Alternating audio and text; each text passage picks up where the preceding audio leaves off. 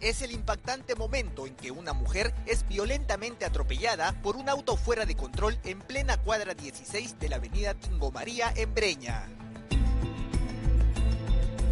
Sandra López Fuster se dirigía a su centro de trabajo el último lunes 25 de diciembre, cuando de pronto un vehículo termina impactando contra ella tras despistarse producto del exceso de velocidad.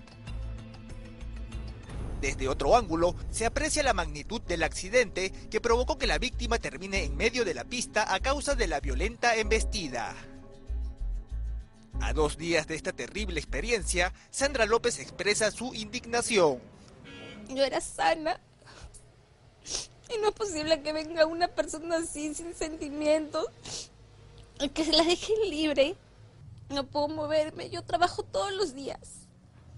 Tengo cuentas que pagar, deudas. Y ahora con esto me han dicho que la recuperación no va a ser de un momento a otro. Va a pasar meses. A pesar de las consecuencias del accidente que la dejó con serias lesiones en la rodilla, el médico que la trató en la clínica Estela Maris decidió darle de alta el mismo día del atropello. Pero le digo, doctor, me duele todo el cuerpo, no puedo caminar, no puedo. No, sí, nosotros te ayudamos. ¿Y cómo me dirijo hacia mi casa? Sí. No, me dice, contrátate una ambulancia, algo particular para que te lleve. Ah, bien que el doctor nos ha dicho pues que este tu señora es grave, su rodilla está roto, necesita reposo por tres días y el miércoles vamos a operar y a dos tres horas nos cambia la versión. Para el esposo de la víctima es claro que hubo un manejo irregular en el tratamiento de Sandra, que hasta el momento no puede ponerse de pie y mucho menos caminar. Por eso quizás el otro tiene influencias por eso pues este todo está corriendo plata, digamos, como se puede decir, ¿no? Entonces, y ahora nosotros somos de bajos recursos. Para los familiares de la víctima, Julio Fernando Franco Pastor, quien se identificó como el conductor del vehículo, no iba al volante del auto y aseguran que fue Eduardo David Granados Angulo quien manejaba la unidad.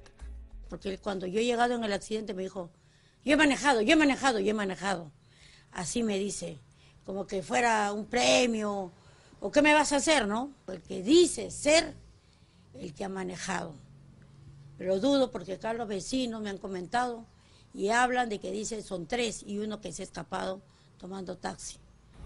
Sin embargo, este video muestra que solo dos personas salen del auto tras el accidente y aparentemente no ocurre ningún cambio de conductor. Lo cierto es que Sandra Fuster se encuentra ahora postrada en cama y nadie se ha hecho responsable de su situación. Yo pido ayuda a la ministra de la Mujer que me ayude porque tengo dos menores hijos.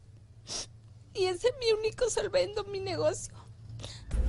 Las investigaciones están a cargo de la comisaría de Palomino y según se pudo conocer, el dosaje etílico del conductor arrojó negativo, por lo que fue puesto en libertad inmediatamente.